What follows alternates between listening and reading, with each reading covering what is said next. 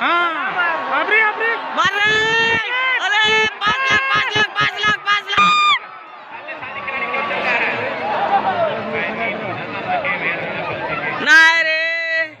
तेल भर घर जो।